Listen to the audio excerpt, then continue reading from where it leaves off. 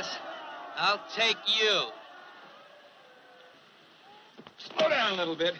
The man's just trying to keep you alive. Easy, friend, easy. That there's Ben Trane. It's supposed to mean something to me? Well, he stole Joe Erin's horse and lived to tell about it. Thank you, senor. Thought your soft spot was only for horses.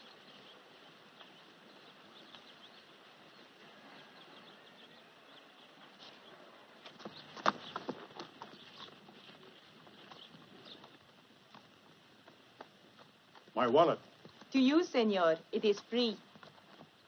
It is useless to look for it now, monsieur. In Mexico today, chase a thief and he disappears like a puff of smoke. It's only cowhide, Ben. Max will buy you another. Wasn't the wallet, it's a sentiment.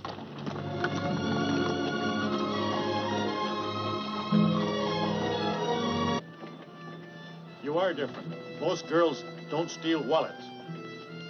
Where is it? If you believe that, senor, why did you let me come with you?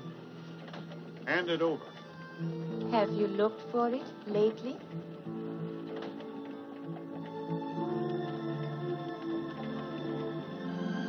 Of course, it is empty. Hmm. Twelve dollars. Picking pockets is a habit hard to break. Why are you so anxious to get to Veracruz? For me, it is not wise to stay too long in one place. And in Veracruz, there are many people and many pockets. And many dresses. They say that a thief in Mexico today can disappear like a puff of smoke. Is that true? You can see smoke disappear.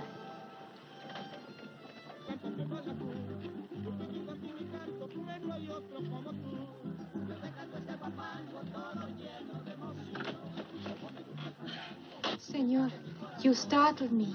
How did you get in there? I told them the Countess had sent me for a dress. It's a good thing I'm not the Countess. Don't tell her. I wanted to wear it at the fiesta.